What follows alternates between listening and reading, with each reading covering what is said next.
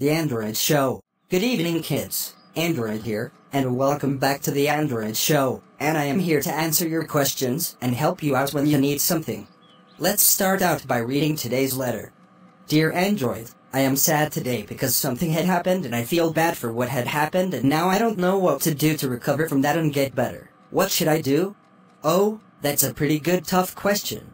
You know, that reminds me of the time when someone was sad cause something had happened and then I went and helped them out. Let's take a look and see how I do helping that person, and I do hope that can answer your question.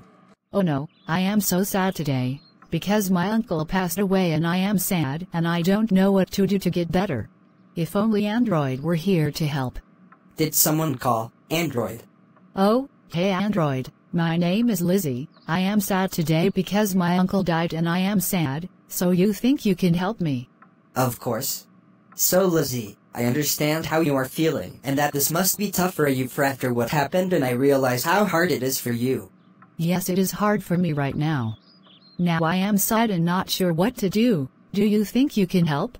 Lizzie, I get how you feel about when a fatality happens and it's pretty tough for people when it happens, and sometimes you need time to recover for it but look, no matter what happens, it will be okay, and your friends will always be there, and you can talk to anyone for advice, and you can worry about the same thing all the time, and they promise it will be okay.